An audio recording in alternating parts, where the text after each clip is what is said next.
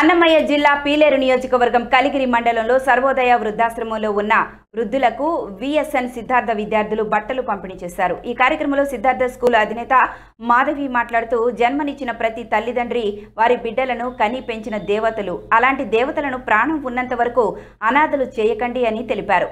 అనంతరం వృద్ధులకు విద్యార్థులతో కలిసి బియ్యం బట్టలు పండ్లు పంపిణీ చేశారు. ఈ కార్యక్రమంలో ఉపాధ్యాయులు విద్యార్థులు పాల్గొన్నారు.